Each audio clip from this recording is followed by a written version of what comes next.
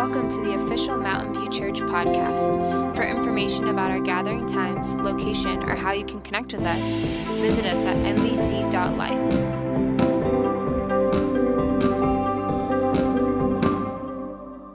We're exploring three books in the Bible known as the wisdom literature Proverbs, Ecclesiastes, and Job. And they're all asking the question what does it mean to live well in this world? So we've looked at Proverbs, who you could think of as a bright young teacher. She's all about pursuing wisdom, an attribute of God that's woven into reality. And she's optimistic that if you use wisdom, you will build a successful life. But then we come to Ecclesiastes, who's more like this sharp, middle aged critic. And he says, You think using wisdom will bring you success. Yes, you'd better think again, because life here under the sun is meaningless. And that's a phrase he uses a lot in this book. But to understand this book, we have to realize first that we're hearing two voices. So, first there's the teacher, and we've been calling him the critic. He's the main voice in the book. But he is introduced to us by another figure, the author. And he's the one who's collected the critic's words and then at the end of the book summarizes everything and gets the final word. So, why does the author want us to hear from the critic? Well, he wants to turn your view of the world upside down, and he's going to let the critic explore three really disturbing things about the world. And we should warn you, these are pretty intense. Yeah. So, the first is the march of time, or as the critic says, Generations come and generations go, but the earth, it's been here long before us and will be long after. No one remembers people from long ago, and all the people yet to come, they too will be forgotten by those who come after them. So, on a cosmic scale, you and I, we are just a blip. Stars are born, and then they die and form planets which orbit new stars, and those planets, they change over time and eventually burn out. And amidst this cosmic backdrop, my entire existence is like a blink in time. Which leads to the critic's second disturbing observation that we are all going to die. Humans face the same fate as the animals death. All people, the righteous and the wicked, the good and the bad, those who offer sacrifices to God and those who do not, they all share the same destiny. All this activity and madness, then we all join the dead. Man, this book is depressing. And so is the final disturbing thing for the critic, and that is life's random nature. So in Proverbs, life isn't random. There's a clear cause and effect relationship between doing the right thing and being rewarded. But the fact is that life doesn't always work that way. The critic has observed a glitch in the system. He calls it chance, or in his words, The race doesn't always go to the swift, or the battle to the strong, nor does food always come to the wise, or wealth to the brilliant, or favor to the educated. Time and chance happen to them all. So his point is that you can't really control anything in life. It's just way too unpredictable. So if I want to master life, Then you're setting yourself up for a fall. Now, throughout the book, the critic uses a metaphor to tie together all of these disturbing ideas. Nearly 40 times he says that everything in life is hevel. It's a Hebrew word that means smoke or vapor. Like smoke, life is beautiful and mysterious. it takes one shape, and before you know it, it takes a new shape. And smoke looks solid, but try and grab it, it'll slip right through your fingers. And when you're stuck in the thick of it, like fog, it's impossible to see clearly. Now, our modern translations have lost the metaphor, and they usually translate hevel as meaningless. But if you read closely, the critic isn't saying that life has no meaning, but rather that its meaning is never clear. Like smoke, life is confusing, it's disorienting and uncontrollable. So, what are we supposed to do with all of this? Well, surprisingly, the critic first of all acknowledges the perspective of Proverbs. He says it's a really good idea to learn wisdom and to live in the fear of the Lord. Really? I mean, he just said that doesn't guarantee success. But he knows it's the right thing to do.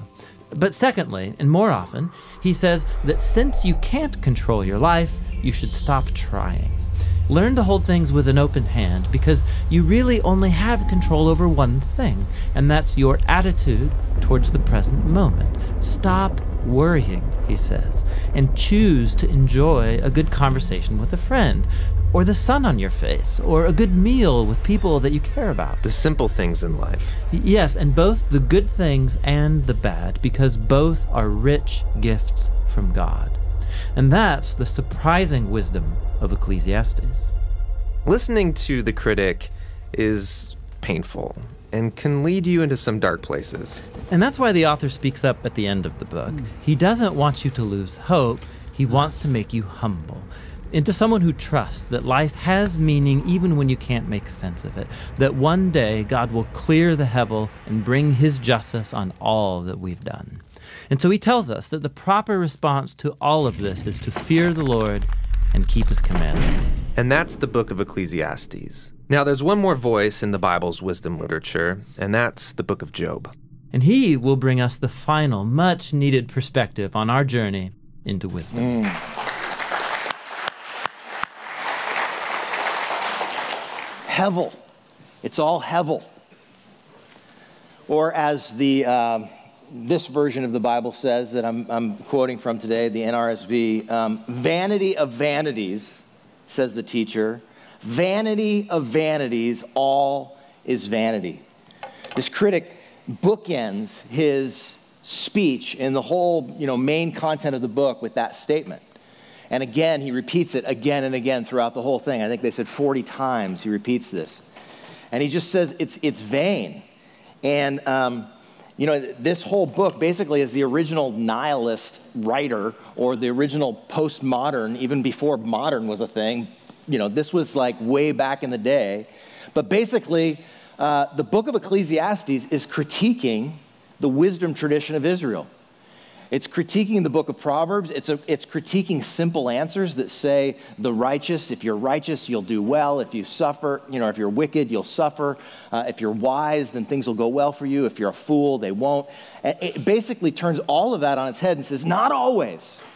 It doesn't always work that way. And in fact, this teacher, who's the central figure, this critic in this story, is actually tied into the same wisdom tradition as the book of Proverbs. Proverbs said that it was Solomon that wrote a lot of it and that he collected other wisdom. This one talks about how the teacher collected lots of wisdom, wrote lots of proverbs, and how he was king in Israel and he did all of these things. In fact, let me read to you what it says about him, how he introduces himself. I, the teacher, when king over Israel and Jerusalem, applied my mind to seek and search out by wisdom all that is done under heaven.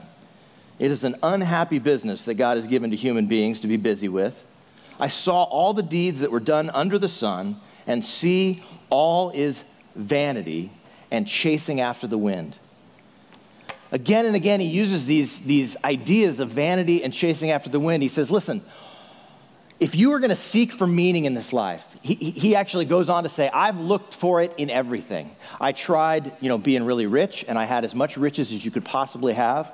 I tried building great, you know, buildings and building projects, and I built great buildings. I had great businesses.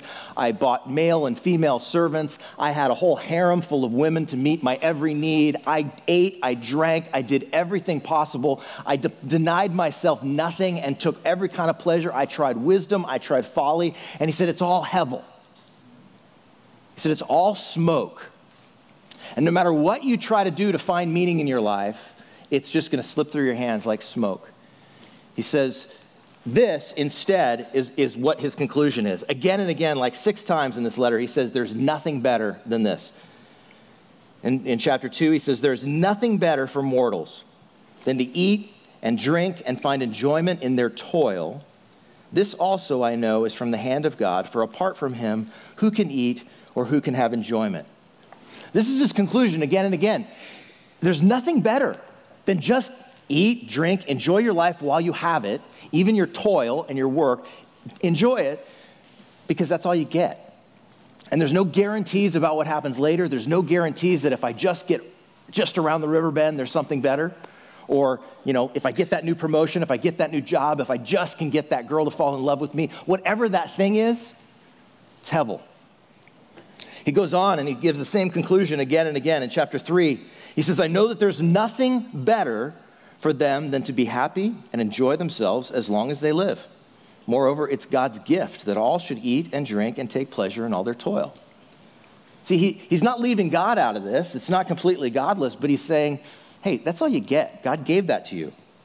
He says it again in the end of that chapter. So I saw that there is nothing better than that they should enjoy their work, for that's their lot. Who can bring them to see what will happen after them?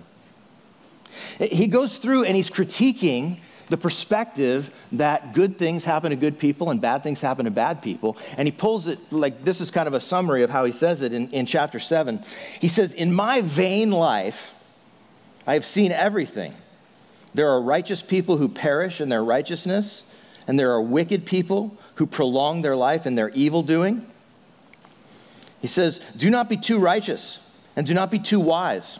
Why should you destroy yourself? Do not be too wicked and don't be a fool. Why should you die before your time? It is good that you should take hold of the one without letting go of the other, for the one who fears God will avoid all extremes. Now, that's a different perspective than you would think you would hear in the Bible. Don't be too righteous.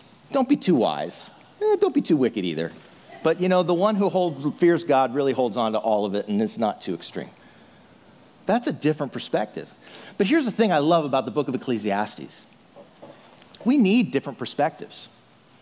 And the Bible is not, you know, afraid of giving us the different perspectives of different people at different times in their life. And this critic, though he's a man who is tearing everything down and deconstructing what he knows of his faith, he has an important message that the author of Ecclesiastes and that the Holy Spirit, who made sure it got put in the Bible, wants you to hear. Like there's actually value in this doubt in this deconstruction, in you know, doubting things down to be able to say, you know, I don't know if what I used to believe really works anymore. Because this is maybe even Solomon critiquing his own previous wisdom, because the character is very similar in that and what it talks about. And so he goes on again to give the same conclusion in, in chapter 8. So I commend enjoyment, for there's nothing better for people under the sun than to eat and drink and enjoy themselves. For this will go with them in their toil through the days of the life that God gives them under the sun. And so he comes to this fuller conclusion and he says it this way Go, eat your bread with joy. And, and, what's interesting is he says this right after he says, So I've seen everything under the sun, and I was so depressed because life is futile and it's all terrible. And he just sinks into this terrible depression. He says, I hated life. And I thought, those that are dead are better off than those living, and the ones who have never been born are even better off still. He says, you know, basically, life sucks, it's terrible. But then he says this, because he, he realizes that depression and despair doesn't work either. That too is hevel. But he says this He says, So go, eat your bread with joy, drink your wine with a merry heart, for God has long ago approved of what you do. Let your garments always be white, and do not let oil be lacking on your head. Enjoy life with the wife you love, all the days of your vain life that are given to you under the sun. Because that's your portion, that's all you get. In life and in your toil in which you toil under the sun. Whatever your hand finds to do, do it with all your might, for there is no work or thought or knowledge or wisdom in Sheol where you're headed. It's encouraging, right? I've never had somebody ask me to read that at their wedding.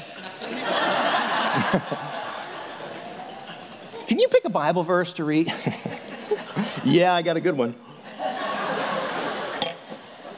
Enjoy life with your wife that you love all the days of your meaningless life. While you have time, since you're on your way to hell.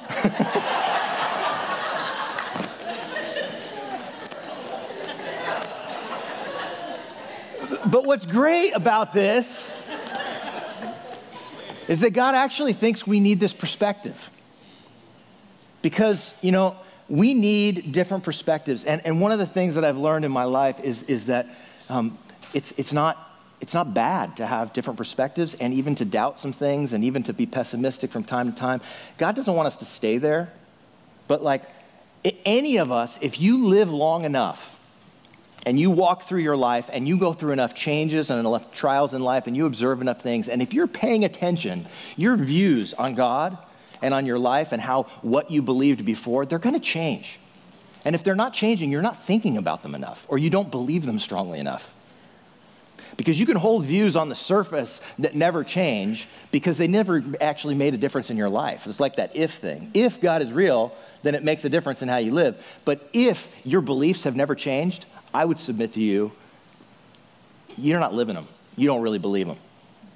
And so, um, so, so this, this story goes on, and, and basically the, uh, the, the author comes back to get the final word because he wants to say, okay, I know the teacher's philosophy is eat, drink, and be merry, for tomorrow we die. But let me just remind you of this. And he says this The end of the matter, all has been heard. Fear God and keep his commandments, for this is the whole duty of everyone. For God will bring every deed into judgment, including every secret thing, whether good or evil. So, like, go ahead, listen to the teacher, eat, drink, and be merry. Pay attention to that. Live in the moment, enjoy your life. But just remember, God's still on the throne, and He's still a judge, and He's still going to do what's fair. And as I, as I listened to this and I thought about the conclusions of this author and of this critic, and I, I thought about my own journey, um, I wanted to read to you something that I wrote about 10 years ago as I sat down to kind of think through my own journey. Because, um, you know, as a pastor, I take my faith very seriously. I take the things I believe very seriously. But in the course of life, my beliefs have changed a lot of times. And I've had plenty of doubts. And what I want to talk about a little bit today is how do we hold on to faith when certainty is no longer an option? When we've lost certainty, how do we hold on to faith? And it, it's entirely possible and it's really important. And the reason I want to do this is because I've talked to a lot of people that are really struggling in their faith. They're, they're deconstructing their faith, they're tearing down kind of like things they always assumed. But listen, just because you're tearing down how you've interpreted God or the Bible or whatever, like, is your interpretation that was wrong. It's not God. Like, He'll get you through this. So don't be afraid of doubt and discouragement and changing your beliefs and learning new things that overturn other things that you used to believe. It's unsettling for sure. But if you stay in it, God will lead you through it. So I, I want to share with you a little bit of my journey about that. And so I'm going to read this to you. Um, it's kind of a, a, book that I started and then I, I never finished. I'm a better starter than a finisher. In fact, I probably would never finish a sermon if I didn't have Sunday morning roll around every single week. But I'll read this. It's called After Certainty. And. Uh, starts this way I think I've been after certainty all my life, but I can't be sure.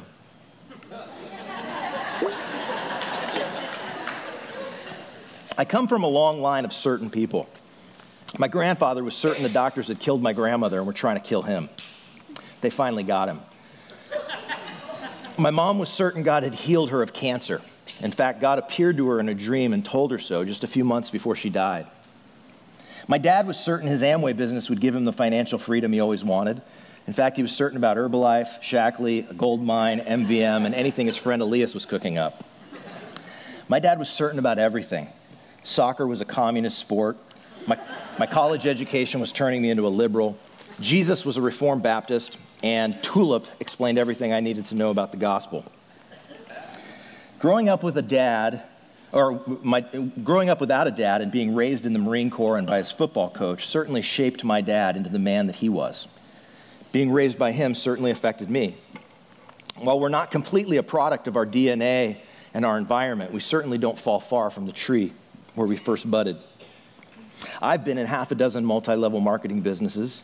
I've invested in a number of sure things that were quick ways to lose money. And I've had the contagious optimism to lead my family and friends on many of these ventures by the sheer power of earnest belief. I've been sincere and I've been sincerely wrong. That brings me to the subject of this book certainty. I've pursued it, I've held it in my own hands, and I've lost it again and again. I've believed and disbelieved enough to question everything I thought I knew. How many times have I been certain that something was so, only to find out that it wasn't? And this leads me to the big, scary question that's always been running in the background of my operating system, but only recently has been allowed on the screen of my mind. It feels naughty even to say it out loud. What if the big stuff is uncertain? What if the things I hold most dear and believe so strongly turn out to be wrong? What if there is no God? What if the Bible isn't reliable? What if my faith is wishful thinking? What if I'm simply wrong about this like I was about so many other things? So the question I'll explore is this How does our faith work after certainty is no longer an option? It started with my mom's cancer. She didn't deserve it. She was pretty healthy. She always told me not to stand in front of the microwave or I'd get cancer. My great grandmother would have been a more likely candidate. I have pictures of her at my wedding, well into her 80s, with a cigarette in one hand and her oxygen mask in the other hand. It wasn't just clean living and moral goodness that should have made my mom immune to cancer. She had faith, the kind of faith that Jesus says can move mountains. She believed God could, would, and had healed her. For Joanna Rodarmel, faith was not a set of beliefs or a Sunday morning hobby. The woman believed every word of the Bible. If it said, Ask and you shall receive, she believed it. If it said, By his stripes we are healed, she claimed it and wouldn't allow any doubters to hang around her or tell her otherwise. I used to believe like that. When I was in high school, my newfound faith was simple If the Bible said it, I just believed it. If Jesus said, You can do these things I'm doing and even greater things, I said, Yeah. When Jesus told Peter to come to him walking on the water, I actually tried it in my friend's pool. I almost pulled a kid out of his wheelchair and told him to walk in front of a quad full of kids at my school. I felt compelled by the Spirit to do it at the moment, and I beat myself up for years afterwards that I didn't respond in faith to the prompting of the Spirit. Later, as a youth pastor on staff at a large church, I had gone with a couple of the more seasoned pastors to pray for one of our youth group kids who was going in for surgery. Jared had a tumor on his pituitary gland that had caused him to stop growing. As we gathered around his bed just before the surgery to remove the tumor, the older, wiser pastors prayed that God would guide the doctor's hands and comfort the family and give Jared courage. I felt holy indignation at their faithless prayers. Just our presence there at the hospital would give them courage and comfort. Why not pray that God would take away the tumor? So I did. I prayed boldly that the doctors would find no tumor and that God would be glorified by the miracle. When they went in, the tumor was gone. They couldn't explain it, but I could. God had healed him. If we just have faith and don't wuss out with these self fulfilling prayers, God will act. Well, it should be no surprise that I prayed for my mom. I prayed for her with deep assurance and faith that God would heal her. She prayed too. She called the elders of the church, actually of several churches, since she was so well connected in the community, to come and pray for her and anoint her with oil. She had a dream where Jesus whispered in her ear, You are completely healed. She believed that it was from God. She wasted down to 85 pounds, still believing that God had healed her and never entertaining a moment's doubt. Actually, about two weeks before she died, she changed her interpretation of her dream. After a family friend who was a doctor convinced her that she was in the last stages of dying and had a matter of a few days left. He had seen it plenty times before, and though he was a believer, he believed she was about to die. So her interpretation changed. What Jesus meant was that she was healed completely, as in permanently in heaven, where there's no more sickness or crying or pain. God wanted her completely well in heaven, not temporarily well on earth. She got to graduate early into eternity. Lucky gal. She took the opportunity of those last two weeks to say goodbye to everyone she knew and have great closure. She spoke about heaven and looked forward to going there with the same confidence she had displayed before about being healed.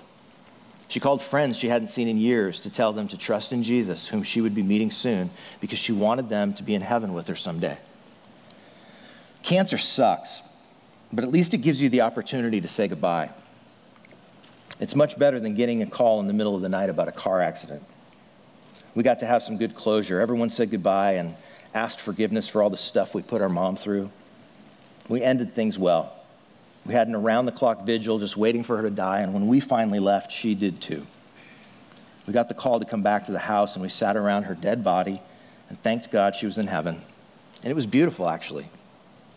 But it opened up some questions for me. If she was as confident about being healed as she was about going to heaven, what if she was wrong about that too?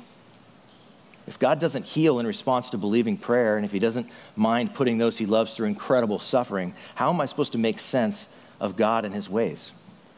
What's the use praying for healing if God gets to interpret it His own way and heal someone by killing them? And by the way, who caused that cancer? If God could have prevented it and didn't, then isn't He responsible? All these questions and the emotional turmoil of losing my mother sent me into a spiral of depression. Where I watched X File marathons around the clock and then decided to plant a church.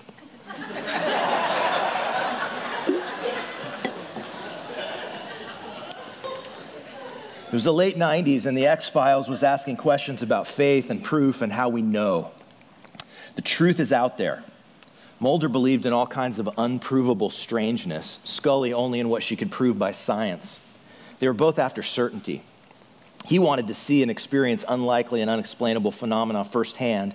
She wanted to disprove it and come up with a reasonable explanation for everything. I was feeling the same way. My Mulder imagination wanted to hold on to my faith in the God I thought I had known since my youth, but my Scully brain kept throwing the evidence back in my face.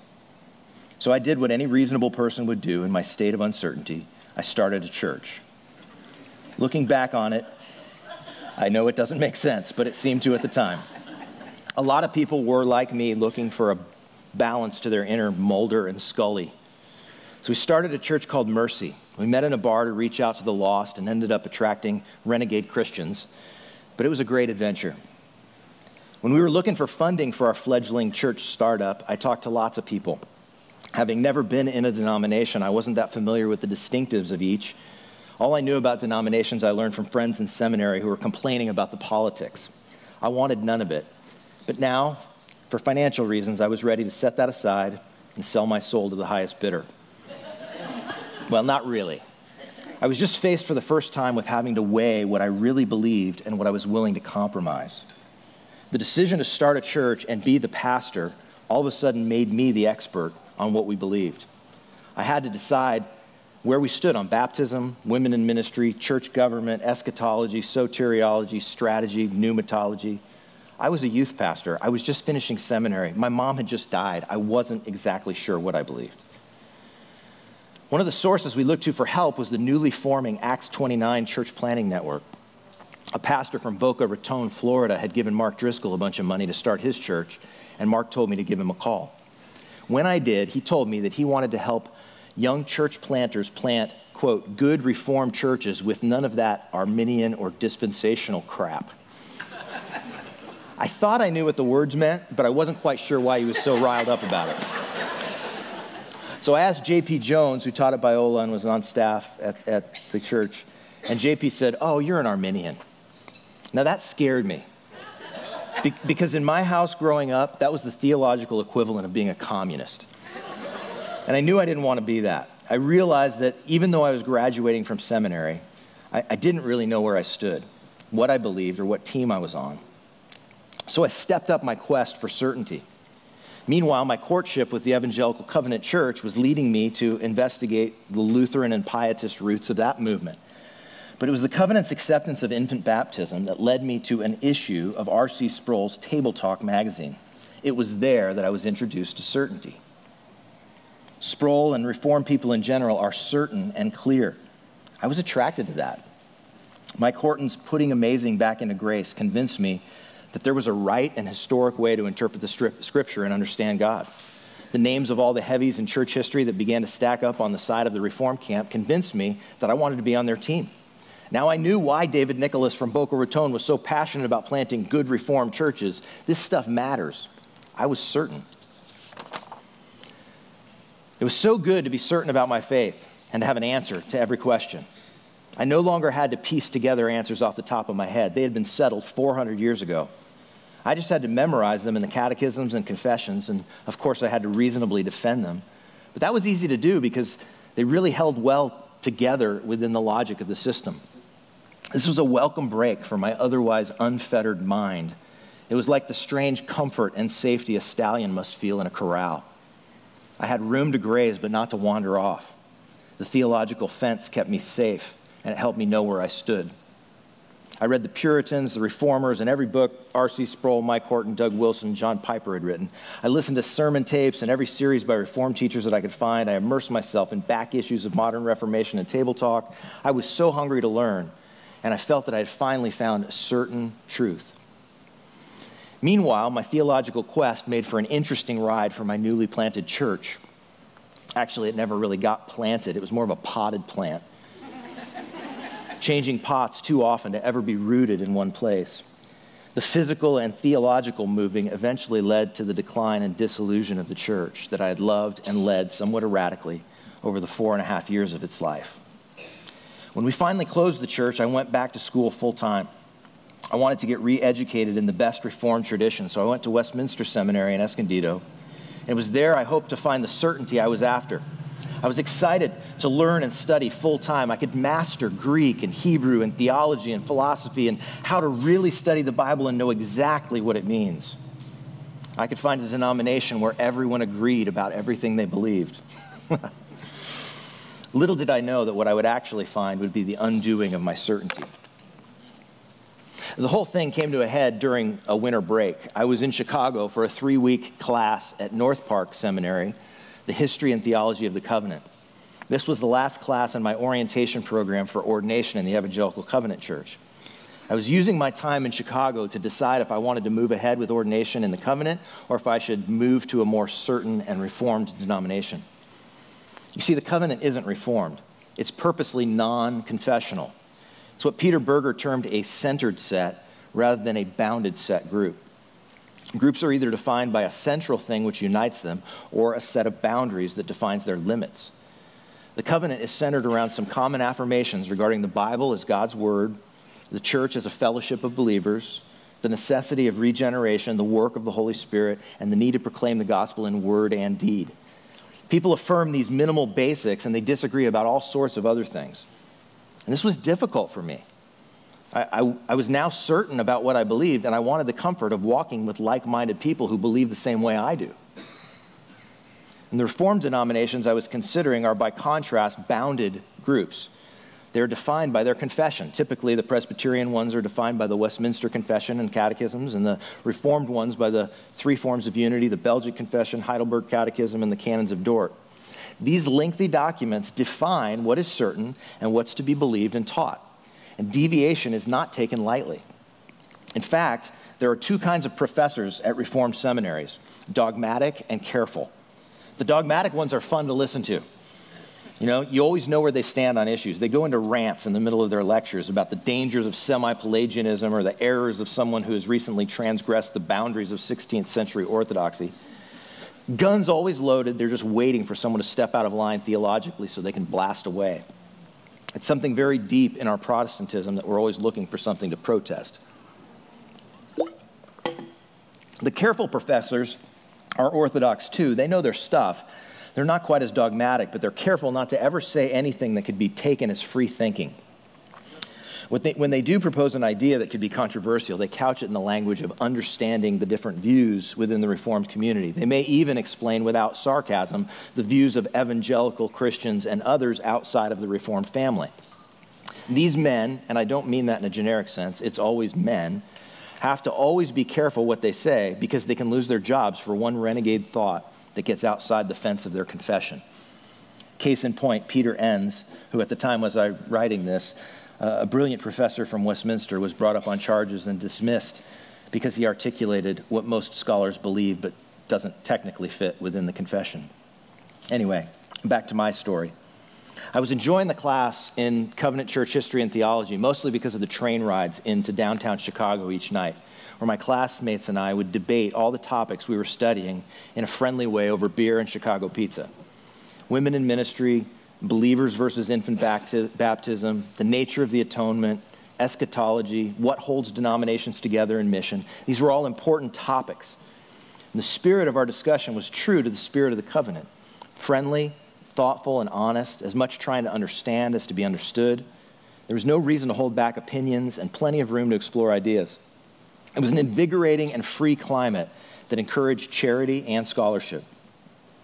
Meanwhile, back in California, an email discussion on a message board at Westminster had brought up more of a bandwagon than a discussion.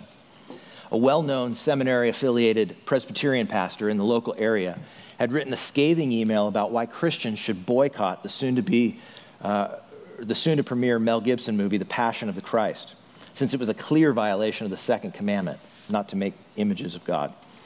He went on to rail against Rick Warren for sharing his pulpit with Mel Gibson, a Catholic, at the screening they had for pastors, and to criticize any pastor who would go to such a screening. Several students jumped on the bandwagon of criticism, none having seen the movie or talked to either Mel Gibson or Rick Warren about it. It was all hearsay, gossip, slander, and accusation in the name of defending orthodoxy.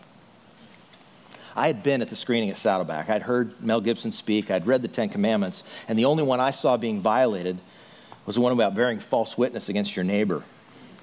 So I wrote a response arguing for why it wasn't a violation of the second commandment, and why I thought it was wrong to criticize people to others rather than going to them.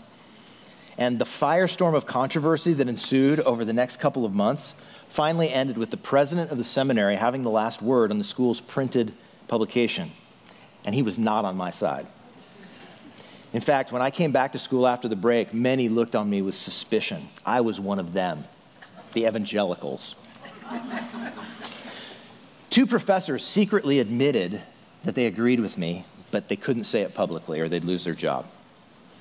You see, that's the nature of bounded set groups. They're always wary of those near the edges. Since they're so certain about what is true and right, there's no room for those with different perspectives. They must be silenced or excommunicated or burned at the stake. It's just how it works. And I realized in the midst of this experience that the covenant is a better fit for me. They knew how to argue lovingly, they listened, they had unity in the essentials, and weren't on a perpetual witch hunt. And while that episode cured me of my desire to be on the certain team, it didn't make me against Reformed theology. I just gave up wanting to be on any team that was so exclusive. I actually went to one of Rick Warren's purpose driven church seminars and realized he was not as big a sellout as everyone in the Reformed world, including me, had thought. He was actually very biblical, go figure. I realized that when I allowed people to speak for themselves and didn't write them off for not being in my camp, I realized that there was much I could learn from many different traditions within Christianity. Instead of seeking uniform certainty, I welcomed the insights of diverse strains of Christianity and even people that disagreed with me. You can call me a liberal, but that's much easier than being a fighting fundamentalist. So, what's after certainty? I started out after certainty. I found it, then I lost it. Now I'm not so much uncertain as I am post certain. that probably makes sense to a few of you. Bottom line is that though I believe in ultimate reality and absolute truth, I believe just as much that I don't really know what it is. I think I have a pretty good hunch. But every time I learn something new, I'm amazed at how I have to keep revising my belief system. Maybe the Enlightenment, modernity, post-modernity, post-postmodernity, you know, is not so much a way to look at the history of thought as it is a metaphor for growing up. As a kid, I believed in magic. The world was mysterious and dangerous. When I became a teenager, I learned to question everything and learned the tricks behind the magic that took away the magic and made things quite black and white. Life has a way of making us question what we thought we knew. So as I grew up, I doubted these foundations and grew disillusioned with the boxes. But as I'm older now, I'm content to give up knowing and explaining everything and to focus more on living than explaining. This is simply the journey of maturity. And I think it's a lot what the message of Ecclesiastes was rather than looking for an answer out there somewhere else, focusing more on living in the moment in gratitude to God of what is. The Apostle Paul wrote in 1 Corinthians 13 When I was a child, I talked like a child, thought like a child, reasoned like a child. When I became a man, I put the ways of childhood behind me. My story is not so different. Paul, the great apostle who wrote half of the New Testament, was responsible for most of the early growth of Christianity throughout the Middle East and Europe, continues on saying that he only sees things like in a funhouse mirror. He has an idea, but he doesn't know fully until he sees face to face. The good news is one day he expects to see and know God the way God sees and knows him completely and accurately. Until then, Paul is content with three things faith, hope, and love. Faith is not certainty. Hope is not certainty. Love is not certainty. Faith looks back on what God's done and how he's kept his promises, and it trusts that he'll do the same in the future. Hope looks forward to the day God will finish what he started in expectation that he is faithful. And love looks outward in the present to live connected to God and others with deep affection and goodwill. None of these requires certainty. I'm still a work in progress. I do not claim to have arrived or to be enlightened. I think I see better now, but I remember that everything I think I know, I know only as one looking in a cloudy mirror. One day I'll see face to face. And I look forward to that day because I have faith in Jesus as the perfect revelation of the true God who loves and forgives us. I have hope that one day he will return to restore all things. And I love my wife, my kids, my friends, my church, my neighbors, even my enemies, believing that it's all that really counts and all that really lasts. And that's how my faith works after certainty. Yours can too. You can trust the God Jesus revealed. That's what faith is. It's not about having all the right answers, it's about trusting a person. You can hold on to hope that He's got the future, whatever the details.